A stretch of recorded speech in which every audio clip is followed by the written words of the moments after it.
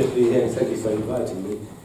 Um, as I was introduced, I was uh, spent a lot of time in trade unions. I was a national executive for my union for 25 years, and I've been to many, many meetings where minutes were presented. The first time ever that the minutes wasn't read, but it was agreed to sign as an accurate uh, record of the meeting, which uh, must be a, a, a record. So. Euroscepticism, I prefer uh, to say it is anti-EU because, as uh, Isla was saying, it's not Europe, it is actually the EU. So it's not so much I'm a Eurosceptic, but I'm anti, anti the EU. And the EU has nothing to offer, neither does do anything or represent, can represent anything that anybody on the left, no matter where he or she is on the spectrum, can, appeal, can, can find appealing.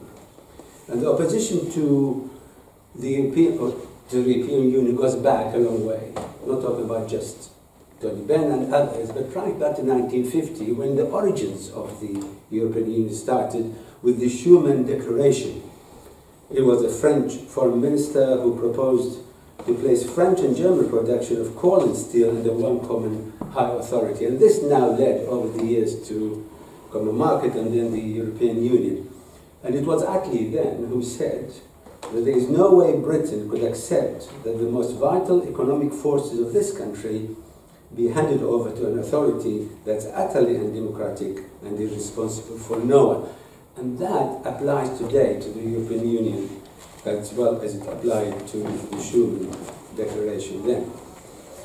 I'm going to deal with a number of topics uh, um, to show where the left stand as far as these as far as the EU is concerned on these topics: democracy, independence and sovereignty, economic model, employment, workers' rights, and so on, and maybe, if the time permits, internationalism and the environment.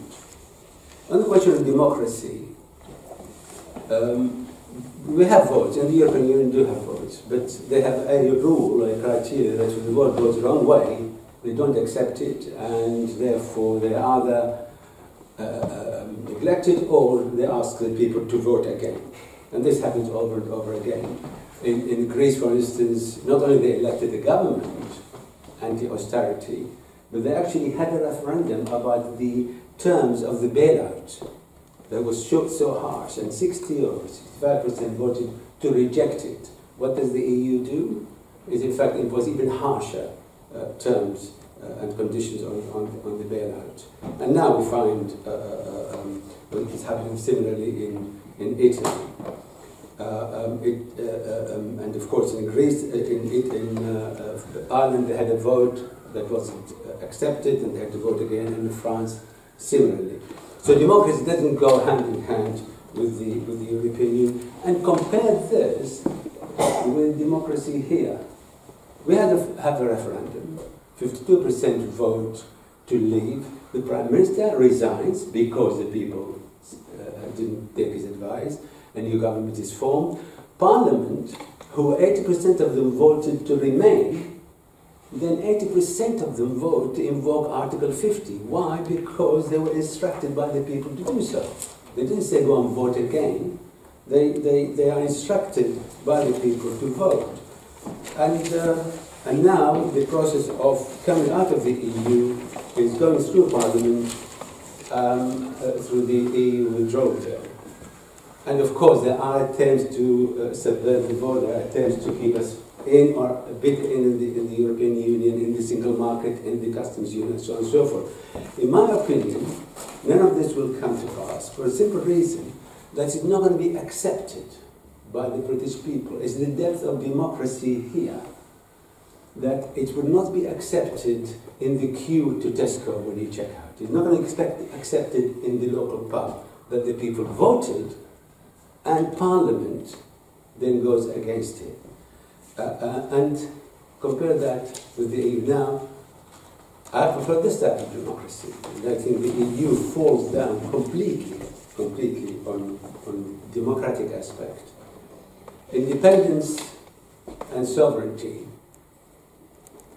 It is a cause that the left supported over centuries. Certainly in the 20th century, lots of in, uh, uh, wars of independence, struggles for liberation, colonies got the independence and so on. And who gave them the support, who gave the people support? Was the left. Brexit isn't that different. It's called Brexit is an exit from the EU. India, you can say, is exiting, which had independence was exiting the British Empire. It's similar. We also are want control back, that is, we want our independence and sovereignty to decide things for ourselves and not someone else who is not accountable. And that's the reason why you find that the left and the right, on the aspect of sovereignty, uh, uh, combine. You know, it goes across. Uh, um, conservatives, Labour, trade unionists, left and right. The, uh, the economic model and the fiscal, uh, uh, fiscal policies of the EU. The, the heart of the EU is the single market and its rules. And the single market designed whereby to provide the, the, the easiest way uh, uh, for cooperation, corporations to, to, to make profit. The most unhindered environment for, for cooperation to actually make profit. It's based on the four freedoms, which I'm sure many of you probably well heard of. These four freedoms are freedoms to uh, movement of goods, freedom of movement of services, freedom of movement of capital, and freedom of movement of labor. The goods and services, the effect of it is that goods can then go across, undercut uh, uh, local productions, local goods, and, and, and uh, uh, uh, therefore create um, closures and, and poverty in some areas. Goods can move in from economies that are low wage economies to somewhere else. Capital can move.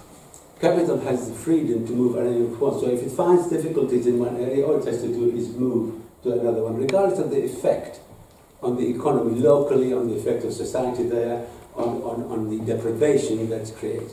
Now, capital is not created by capitalists. It's not, corporations don't actually have capital, they borrow it. And where does capital come from? Capital uh, uh, um, is a product of, is, is representation of wealth. Some of it is, is a product of, of people, working people. Some of it is pensions. Pension forms a large part of actual capital. The other part is profits that have been accumulated over decades, two or three centuries, since the Industrial Revolution. Profits are created, they're invested, more profits are created. And the profits and all production are created by working people, the 99% who actually work. So capital is a product of society.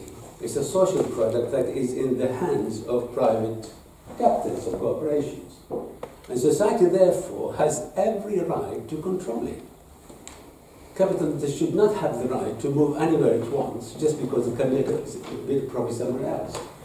Now that sounds like as if it's a very noble idea, but in fact, that was, we had exchange, capital exchange control in, in the 70s. It was when Thatcher was elected that capital exchange controls were, were removed and capital can then move. Previously, capital could not move from one place to another.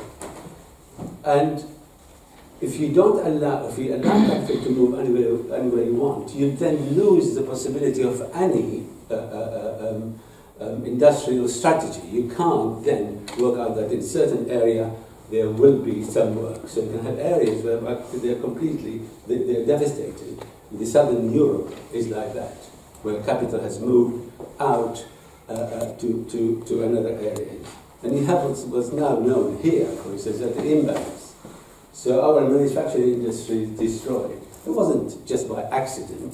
That was a result of precisely the, the, the freedom uh, of capital to move from one area to the other.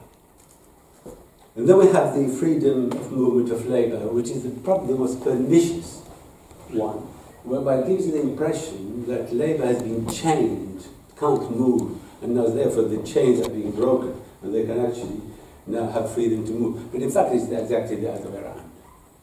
Labor is chained to capital, so therefore, if capital moves, labor must move with it. It isn't a freedom, in fact, it's an enforced movement of labor. The lad who comes and cleans the windows from Romania in our house, and do you think that when he was 14 and his teacher asked, What would you like to do in the future? He said, Well, my ambition is to clean windows in North London. No, he's forced to actually move there. He's forced to go because there is no work in, in Romania. And as Gisela was saying, uh, we now uh, um, have, uh, this is a, a, uh, a report from uh, in, The Guardian which said that EU-trained nurses and health visitors, health visitors working in the NHS have soared by 32% in March this year. Do you really think that those nurses and health workers will, will uh, not wanted in, in, in Eastern Europe. We are getting people who are needed in their own country to build their own countries, we're bringing them here instead, which is of course not something that uh, uh, good for us or good for the country where they come from. The effect of free movement of labor is to depress wages here, to put pressure on, on housing, on social services, and, and on welfare.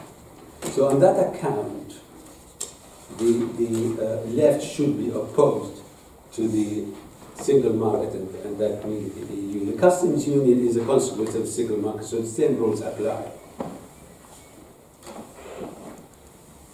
The result of the combination of these rules is that if we want to uh, change economic policy, if supposing we elect a Labour government with an economic strategy whereby you can have uh, rebalancing the economy, borrowing invest, state aid, and so on.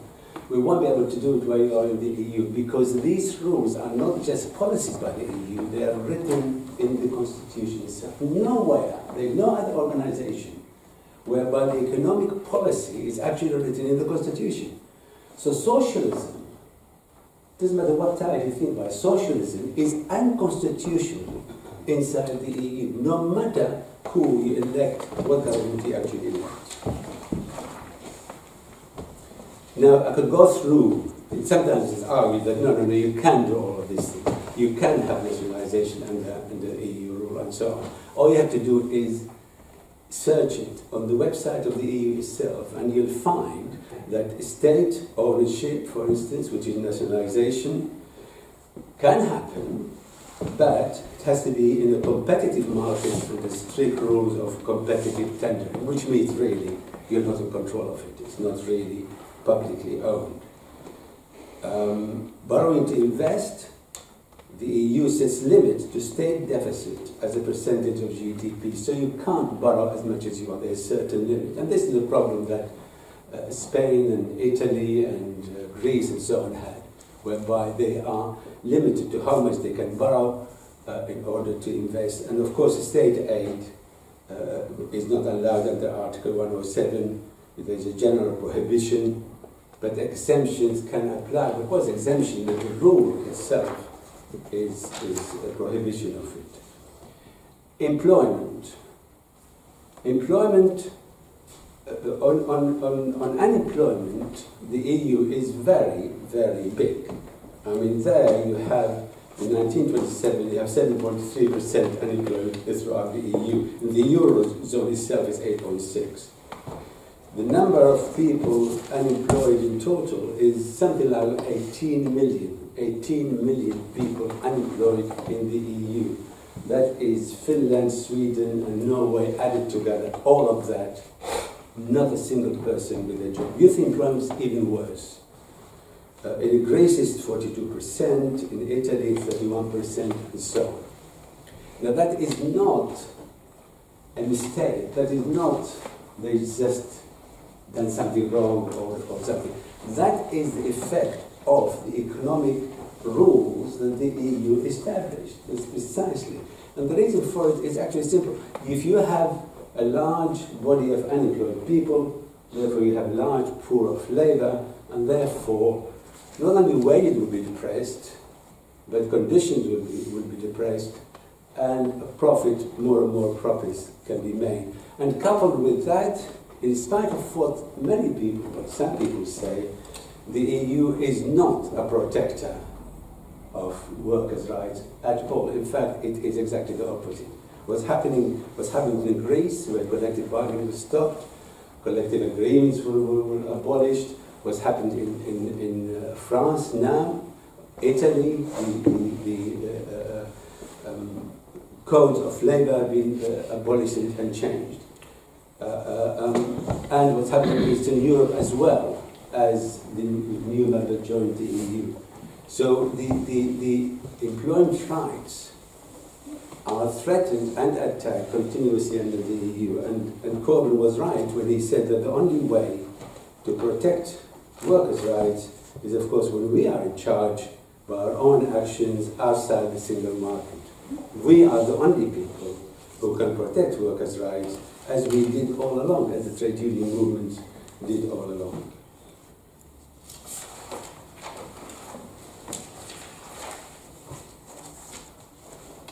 It is any change, and coming out of the European Union is a big change. Any rebalancing of our relationships with the rest of the world, any re rebalancing of our economy will obviously uh, uh, um, take some effort and also be costly. There is no change without any cost. So we can't pretend that coming out of the EU will be all fine. There will be some cost. There will be some hardship involved by definition. But if you look at all the countries that have been through these changes, where they sort of uh, uh, threw away their dependence on, on, on uh, colonies and they got their own independence, the, the cost was, of course, worth it because at the end of it all, you're going to have a different starting point, a starting point whereby you can actually build the economy and the society you live in. And in summary, is this what Brexit will, will, will provide us is a new relationship, and that must mean a bit more of self reliance rather than the complete reliance, not complete, but a large reliance on the outside world. And this was brought up by globalization, whereby we're dependent on gas from, from uh, Russia and on a variety of things from other countries, even when not sufficient in food production.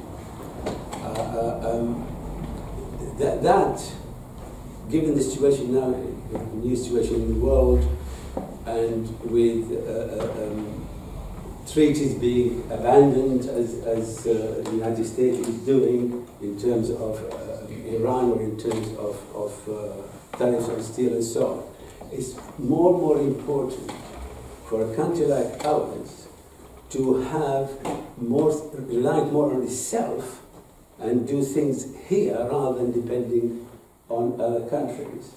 There's absolutely no reason why, if you make a car, why components and parts of a car should crisscross the channel to the, to the continent to add bits pieces on it in, say, Frankfurt, and then come back here and something else added to it, and then goes back there, and so on and so forth. There's absolutely no reason why that should happen. The only reason why it happens because it makes tiny bit increase in the, in the profit margin.